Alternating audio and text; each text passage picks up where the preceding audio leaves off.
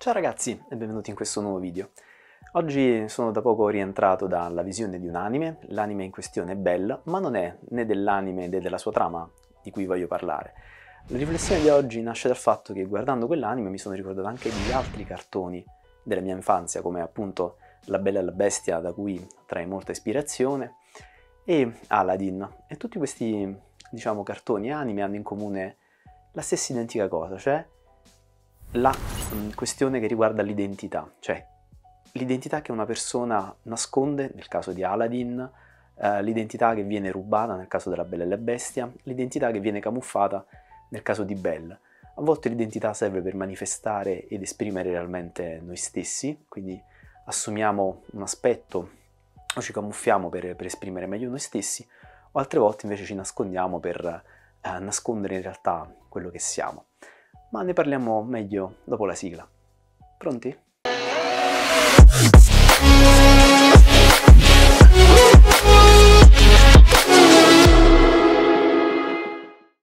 Chi è che siamo? Qual è la nostra identità? È la faccia che vediamo allo specchio eh, quando ci alziamo al mattino oppure è l'impressione che lasciamo sulle persone che ci circondano? Risponderebbe Pirandello che sono entrambe le cose, perché tutti siamo uno, nessuno e centomila. Ed effettivamente ha ragione. Se ci andiamo a riflettere, ognuno di noi ha un aspetto e un modo di essere visto diverso che varia da persona a persona ed varia molto anche rispetto alla percezione che noi abbiamo di noi stessi. E che cosa significa questa cosa? Beh, significa semplicemente che ogni persona è molto molto variegata, ogni persona è un intero universo da scoprire e quindi ha diversi aspetti. Io molto spesso, e chi mi conosce di persona lo sa, paragono le persone ai dadi. Se ci pensate, un dado ha diverse facce e ogni faccia però fa comunque, per quanto abbia un valore diverso, parte dello stesso dado. Se noi lanciamo un dado, questo ci mostrerà un unico aspetto, una sola faccia e non tutte quante assieme. Beh, la stessa cosa vale per le persone. Le persone sono proprio come questo dato, hanno diversi aspetti, ma noi non riusciamo a conoscerle in una sola volta per tutti gli aspetti che hanno, ma possiamo conoscerle solo per un aspetto ogni volta. Quindi conoscere un po' più approfonditamente una persona richiede tempo e non è detto che riusciamo a conoscerla del tutto, ci sarà sempre un lato che ad esempio è poggiato sul, sul, tavolo, quindi ci sarà sempre un lato nascosto e ci vorrà veramente tanto per tirare fuori quel lato nascosto.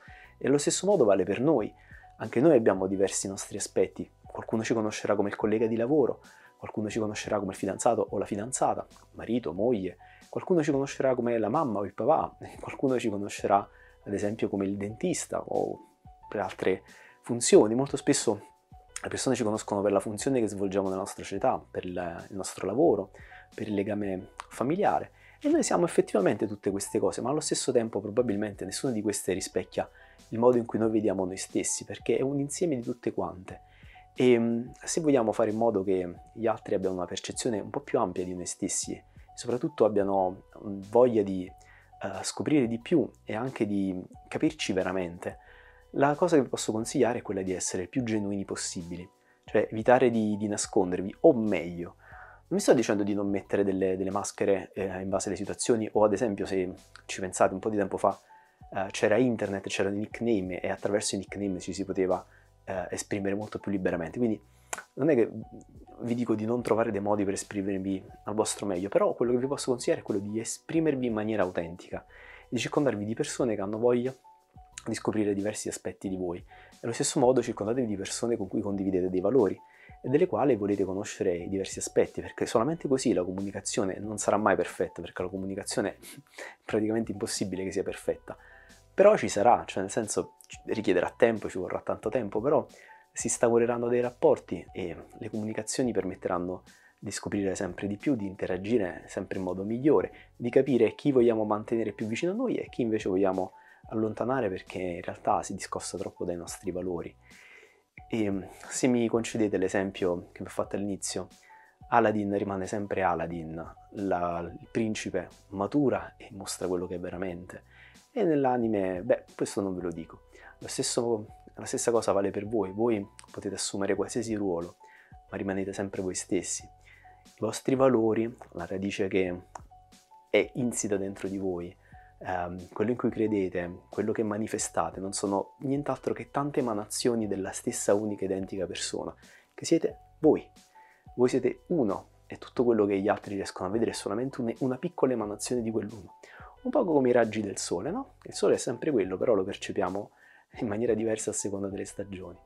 Siete un'unica entità, non fatevi fregare da, da questa cosa. Forse non riuscirete a mantenere rapporti perfetti con tutti e forse non dovreste neanche mantenere rapporti perfetti con tutti, però avete la vostra identità.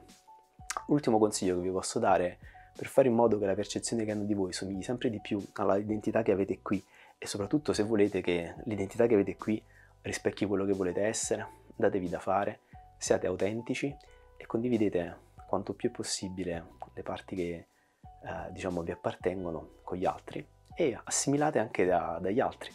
C'è un detto che dice che ognuno può essere un insegnante in qualcosa, almeno in una singola cosa ognuno può darvi un insegnamento e in quell'insegnamento potete imparare a migliorare e a maturare. E questo è quello che io mi auguro per me stesso e per voi.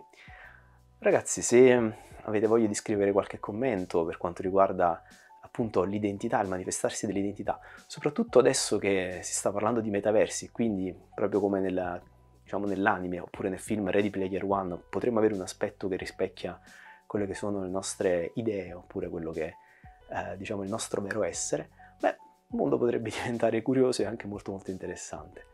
Quindi scrivetemi che cosa ne pensate, scrivetemi quali sono le vostre idee, le vostre riflessioni, potrebbero essere spunto per una, una chiacchierata. Se questo, questo, video vi è piaciuto mettete un like, iscrivetevi al canale e condividetelo con i vostri amici.